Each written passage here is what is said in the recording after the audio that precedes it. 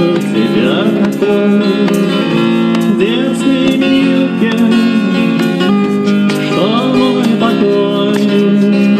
Присоединиться к уличным музыкантам во время прогулки по центру Самары для Игоря Талькова – обычное дело. Сын знаменитого отца сегодня и сам известный музыкант, аранжировщик, автор песен. Привез в наш город новую программу «Два барда, два мира».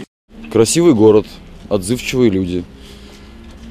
Сегодня на концерте поймем, насколько близко то творчество, которое я буду показывать. В Самару Талькова-младшего пригласил давний друг, уральский музыкант Виталий Галущак. Решиться на совместный акустический тур ребятам было несложно. Актуальные темы песен, искренность и готовность экспериментировать помогли родиться новому проекту.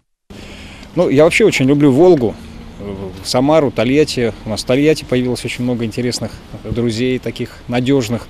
Вот. э, В Самаре у меня всегда были друзья. Поэтому я очень надеюсь, что сегодня будет, как и всегда, теплый, душевный вечер. В музыкальном магазине Игорь Тальков своим примером легко развенчал известный миф. На детях гениев природа отдыхает. Играло и звенело все, что попадало в руки артиста. Гитары, барабаны и, конечно, любимые клавиши.